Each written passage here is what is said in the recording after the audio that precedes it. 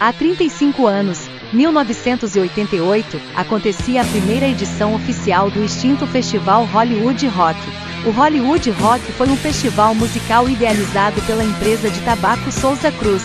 A primeira edição, embora não seja oficial, ocorreu no estádio de General Severiano, em 1975, e foi organizada por Nelson Mota. A primeira edição oficial do Hollywood Rock ocorreu em janeiro de 1988, com quatro noites dos concertos em cada cidade, Rio de Janeiro e São Paulo.